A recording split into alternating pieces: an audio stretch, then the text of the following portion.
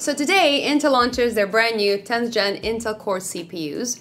And while some of you will argue about how new some of the technology really is, the reality is that there will be new CPUs to buy with more cores and higher clock speeds, and therefore there will be new choices to be made if you're looking to build a new PC. Now, there will be a lot of videos going live today talking about these CPUs in great detail, but I'm not gonna do that now. In this video, I just want to answer one very simple question, and that is, how does Intel's new Core i9-10900K, which is a 10-core CPU, compare to the similarly priced 12-core Ryzen 9 3900X in pure gaming?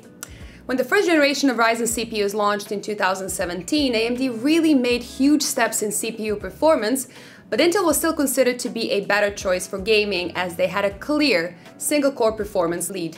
But with the third generation of Ryzen that came out last year, AMD crushed it and pretty much closed that gap. However, Intel claims now that these new CPUs will be the ultimate gaming processor, so naturally, I wanted to see how true that actually is. Let's go! This video is brought to you by Corsair and their K95 RGB Platinum XT mechanical keyboard. The new K95 features a beautiful aluminum design, Cherry MX switches, dedicated media buttons with an extra row for dedicated macro keys, extra durable PBT caps, and a very comfortable and soft wrist rest. Check it out using the links in the description below. There are two reasons uh, why I mostly want to focus on gaming today. Now the first one is the fact that while I know a lot of you want a powerful PC that can handle any task out there, many of you just spend most of your time gaming. And the second is that Intel is very clearly stating that these new CPUs are primarily made for gaming with almost all of their marketing being focused entirely on that topic. Now, I don't think pushing single core performance is an excuse to not talk about the fantastic multi-core performance AMD has to offer, but more like a huge compliment in some weird way because the fact that Intel isn't talking about it means that they know AMD does it better and they're not even gonna try to fight it. But they are putting all their effort into this one battle that they might win. To make this as fair as possible, I built two very comparable high-end test rigs with these two CPUs. For the Intel rig, I went with the MSI MEG Z490 Godlike, and yes, you will need a new 400 series motherboard for these new CPUs. Now this board is completely an overkill, but it's also insanely cool. It has great VRM design with 16 and 90 amp power stages. There's an OLED display, it has dual Thunderbolt ports and 10 gig LAN, a ton of RGB and 5 M.2 slots thanks to this little expander you get. It is an expensive high-end board, so at least Intel cannot say I was holding their CPU back. I have 16 gigs of RAM here. This is Corsair's 3600 MHz Dominator Platinum RGB memory. I have a fast Samsung 970 EVO Plus NVMe SSD, NZXT Kraken Z63 to cool down the CPU, and a nice 850 watt Seasonic Prime power supply to power it all. Of course, the AMD Ryzen 9 gets uh, just as much love with the equally crazy X570 Aorus Xtreme motherboard with an equally overkill VRM design and also the only X570 motherboard to be completely passively cooled. I use the exact same Corsair memory, an equally fast Corsair MP510 NVMe SSD, a Kraken X52 for cooling, and another 850 watt Seasonic Prime power supply.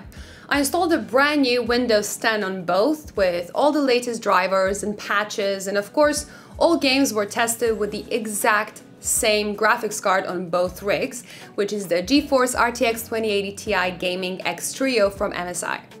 Both CPUs were tested in their stock configuration, so there is no multi-core enhancement, but they are using their own boost features. So there is a Precision Boost for AMD and Turbo Boost 3.0 for Intel.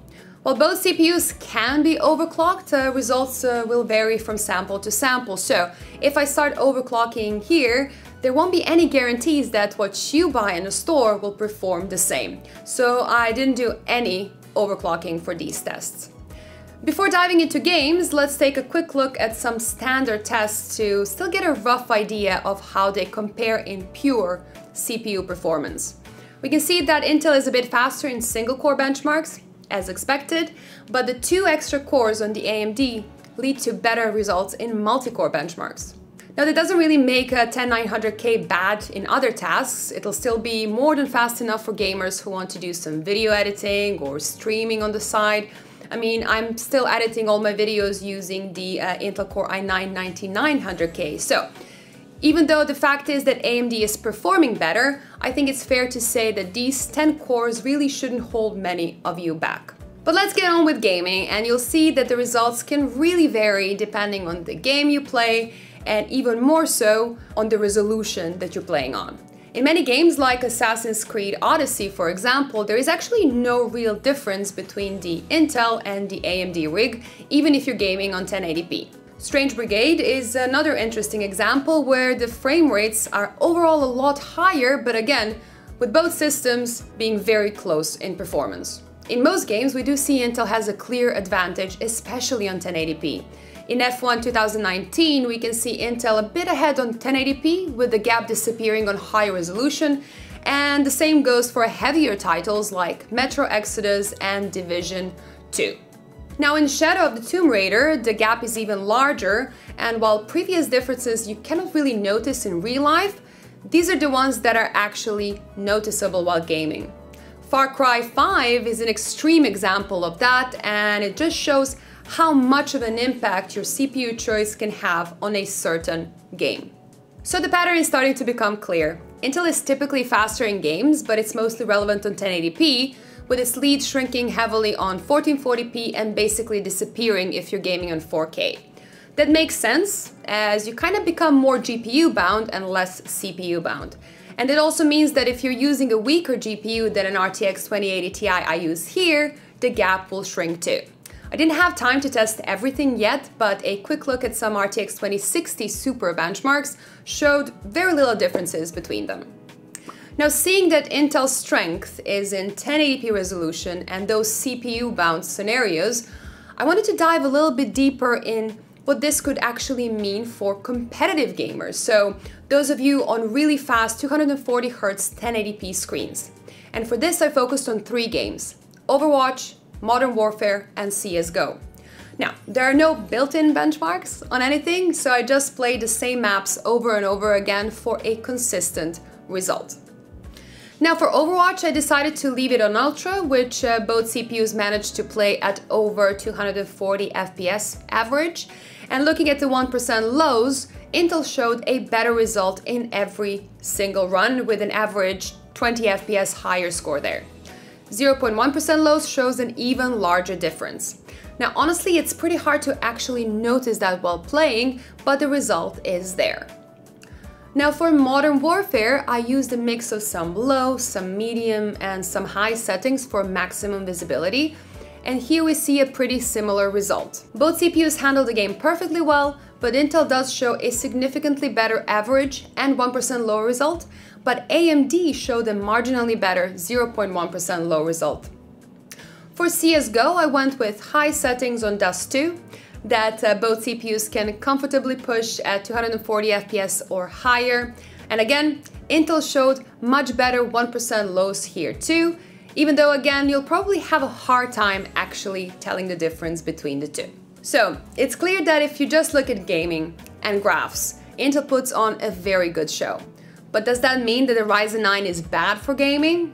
Absolutely not. The Ryzen 9 will play every single game comfortably and at high refresh rates and then especially well if you have a high resolution screen or a less than a top-end GPU. It also has a platform uh, that supports PCIe Gen 4 that Intel doesn't have yet. It has more cores that will clearly benefit you outside of gaming and unlike this i9, you don't actually need a really good cooler to keep it cool.